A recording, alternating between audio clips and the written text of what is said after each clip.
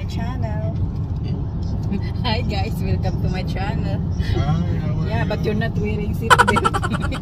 Maybe Guys, we're going to Walmart. We will buy some food and some clothes for a man